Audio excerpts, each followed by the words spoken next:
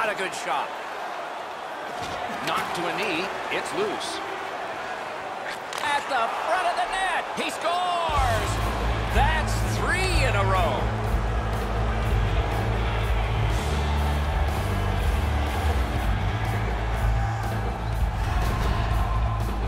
McDavid's stick was in a ready position to accept that puck and put it in as a one-timer. Absolutely a great shot, Edzo, but the goaltender dropped down just a bit quick, left the top of the net exposed.